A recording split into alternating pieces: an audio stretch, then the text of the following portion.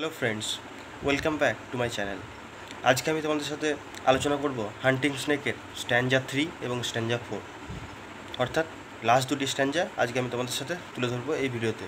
আগের ভিডিওতে আমি ইন্ট্রো এবং প্রথম দুটি স্ট্যান্ডা নিয়ে আলোচনা করেছিলাম। আজকের এই ভিডিওতে আমি লাস্ট দুটি স্ট্যান্ডা তোমাদের সামনে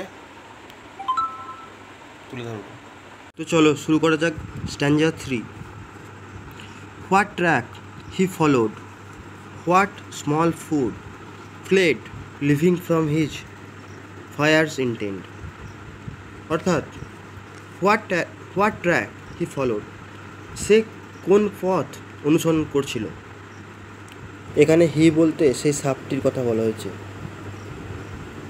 What small food fled living from his fire's intent? অর্থাৎ কোন সে ক্ষুদ্র খাদক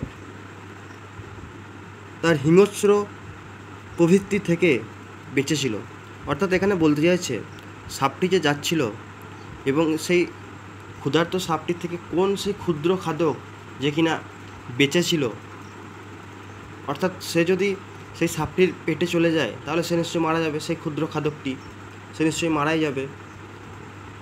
তো কবি এটাই জানতে চাইছে, এখানে সেই কোন ক্ষুদ্র সেই খাদক যে কিনা এখনও বেঁচে ছিল সেই হিংস্র এবং ক্ষুধার্ত সাপটির থেকে।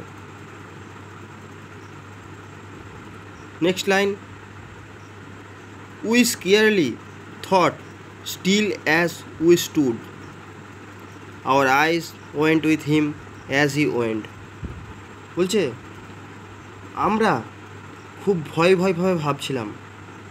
কী ভাবছিলাম? যেহেতু আমরা তখনও সেখানে দাঁড়িয়েছিলাম তাই আমাদের চক্ষু তাকে অনুসরণ করছিল, যখন সে পথ ধরে এগিয়ে যাচ্ছিল।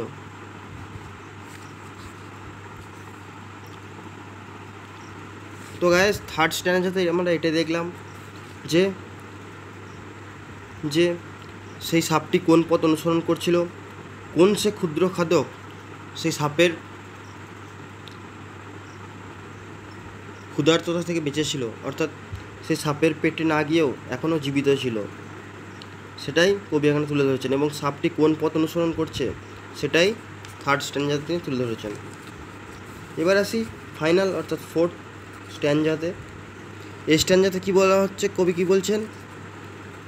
Cold dark and splendid he was gone into the grass that hid his prey সেই শীতল, কালো এবং সুন্দর সাপটি চলে গেল।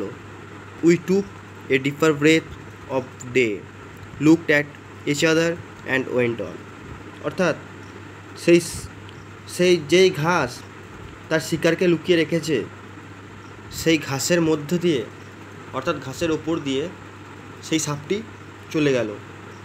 এবং তারপর কী হলো?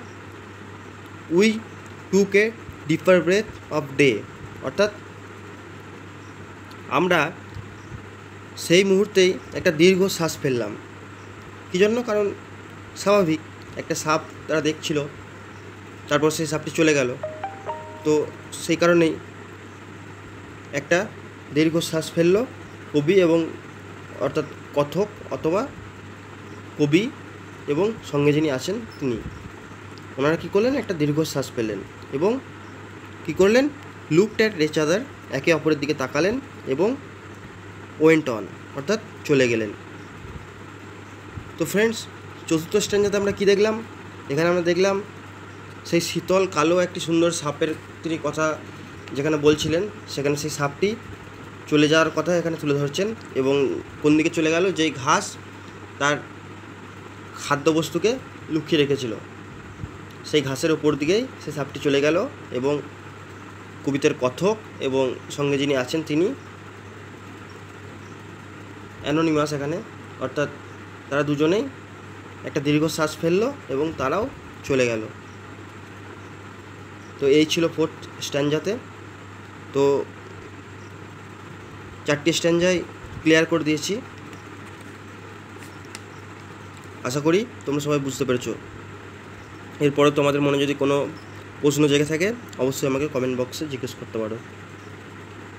এই হান্টিং স্নেক কবিতাটি, এখানে কবি একজন পরিবেশবিদ। কবি এখানে এই সাপটিকে প্রকৃতির একটি ভালো সৃষ্টি হিসাবে বর্ণনা করছেন, এই হ্যান্টিং স্নেকে এটাই আমরা এখান থেকে দেখতে পেলাম। তো মোরাল অফ দ্য স্টোরি কী এখানে? Moral of the story is the poet draw a picture of God's good creation. Hunting Snake is a poem about two people witnessing a wild snake in pursuit of its prey. The event is over in a short time, yet their reactions to the snake's presence seems to be profound. Their day is altered, their breath is affected. So, guys, that's it about hunting snake. I think your mind is clear. Thank you for watching. Catch you on the next video. Tata. তো guys তোমাদের আজকের এই ভিডিওটি কেমন লাগল অবশ্যই comment করে জানাবে এবং তোমাদের মনে যদি কোনো প্রশ্ন জেগে থাকে তাহলে অবশ্যই আমাকে জিজ্ঞাসা করতে পারো কমেন্ট বক্সে আর আমার এই ভিডিওটি যদি ভালো লেগে থাকে তোমরা অবশ্যই লাইক করো আমার চ্যানেলটিকে সাবস্ক্রাইব করো এবং বন্ধুদের সাথে শেয়ার করো thank you for watching indeed